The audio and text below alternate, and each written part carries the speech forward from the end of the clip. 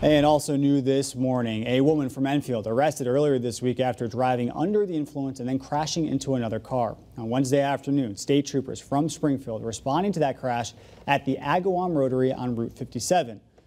Officers say they approached the car of 45-year-old Catherine Hanson from Enfield, and they say they immediately took note of her belligerent and aggressive attitude that they believe was caused from alcohol and drugs. They say Hanson began to kick and spit on officers before being taken into custody. And while taking inventory of Hanson's car, troopers there found a loaded gun, gun parts, several magazines, hundreds of rounds of ammunition, and Hanson does not have a license to carry a firearm. It was also revealed that Hanson was speeding at the rotary when she was struck when she struck that other vehicle. Several people in that car were injured in the collision and then taken to the hospital for treatment.